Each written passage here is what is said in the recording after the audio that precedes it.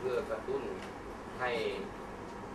โรงเรียน ศูนย์เด็กเล็ก ผู้จัดบริการการดูแลเด็กทั้งหลายนะ เอาไปใช้ติดตามรถบริการของตนเองนะเพื่อกระตุ้นเตือนความทรงจำให้กับผู้ปฏิบัติ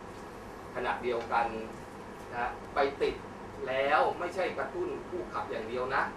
กระตุ้นเจ้าของการระมัดระวังจัดการอบ